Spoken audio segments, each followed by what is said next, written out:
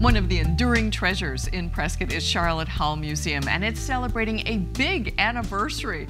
Uh, we're going to talk about all kinds of things coming up for it this coming year as well. Ken Leja, wonderful to have you on with us today. Glad to be here. Thank you again. I tell you, when I came to Prescott, uh, you know, a few decades ago, I have to say Sharlot Hall Museum was one of the first places I found out about.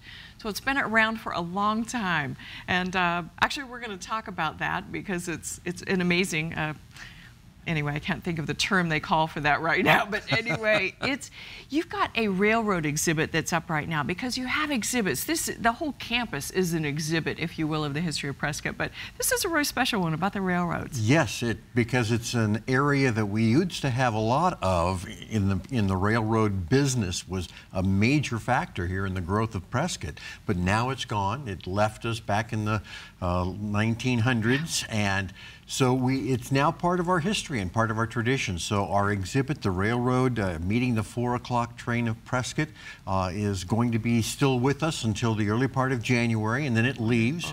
Uh, and it, it, it the centerpiece, of course, is still that HO scale model railroad of downtown Prescott. And it's just so exciting. The kids that come by and push the button to see the train go around the tracks and cross over the Gurley Street, uh, you know, oh, the, the, Granite Creek Bridge yeah. and the, the roundhouse. It's just an amazing exhibit.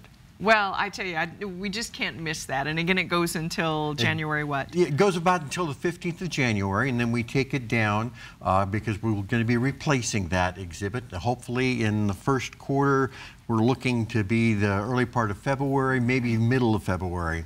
Wow, well, don't miss it because it's great and something else wonderful will be coming up. But I was just surprised to actually realize that Sharlot Hall Museum has been in the Prescott area for 90 years. 90 years. We Amazing. celebrate our 90th anniversary uh, in June of 2018. And, you know, when you think back into what was happening in 1917, 1918, we had just become a state, and Sharlot Hall, the woman, uh, was deciding that we needed to preserve our history, and so she established the Sharlot Hall Museum, or at the time, it was called the Governor's Mansion Museum because that was it, just the Governor's that was, Mansion. That was what was on the campus, that was right it. Then. And a road went right That's right. in front of it you know, well. and, and I, I, don't remember what the name of the street was, but there was a street right in front, and there was the picket fences going all the yeah. way around it. We have uh, historic photographs of it back then, and it's a, it's a quaint little thing. Now it's grown from that little building, and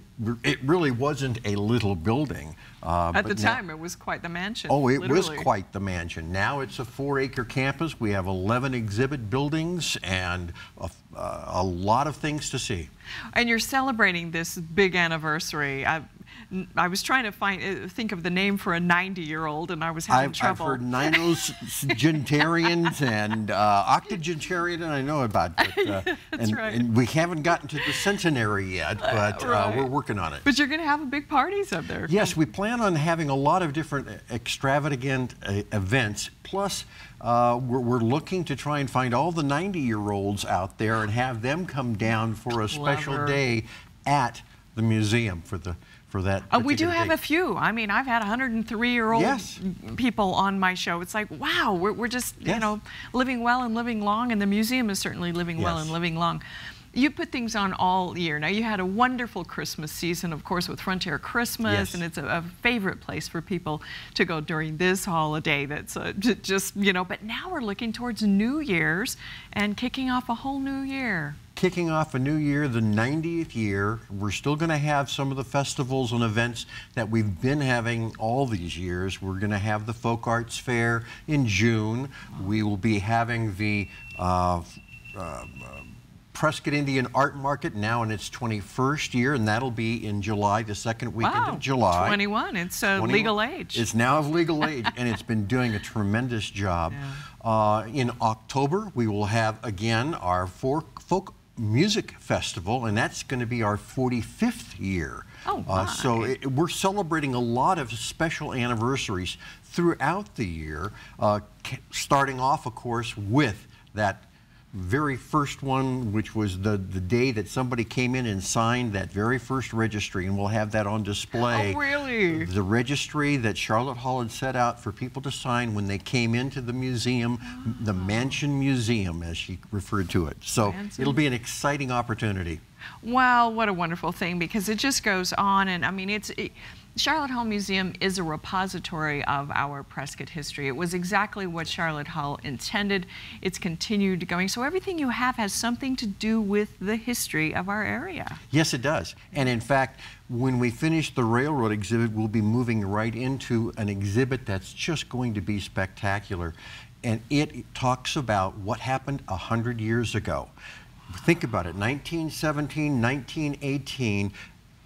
What was going start, on? We were in the middle of a great war. And you're going to have the opportunity to be in the trenches of World War I and discover how did Arizona, a brand new state, remember we'd only been a state since 1912.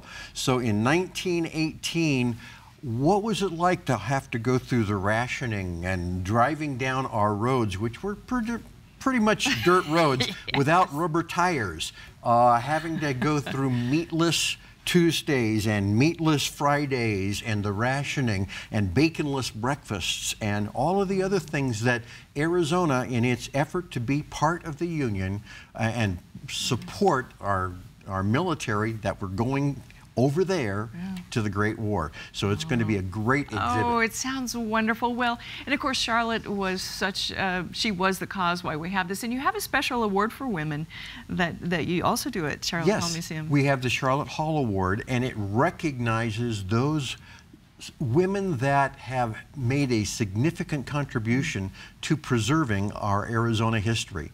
And that happens every single year, and the presentation is made at the Western History Symposium, which will be the first Saturday of August. So we've got something going on every month I tell you, don't you Museum. cannot be bored here when you, when you go to Sharlot Hall Museum. Besides all the standing exhibits you have, like the transportation house and you know the Yes. the house of a thousand hands or whatever Sharlot Yes. called it, where you have standing exhibits all the time. Wonderful Many, things. many standing exhibits. We uh, recently opened up our Prescott Culture exhibit, which it really brings the full circle from the Ice Age all the way to the Prescott people.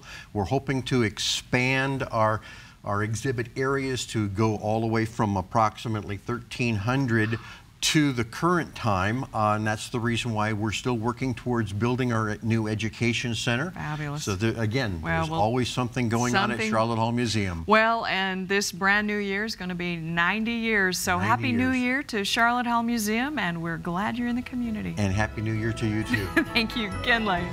All right, don't go away. When we come back, we'll have Sandy and friends again.